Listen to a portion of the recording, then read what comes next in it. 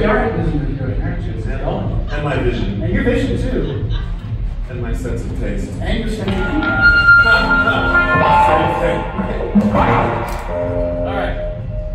This is the first song that uh, The Ox on the Roof wrote together uh, back in 2013. This is a song that we actually auditioned Carl on, and he, he got in the band.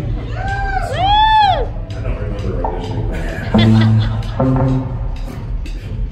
His memory is going to it.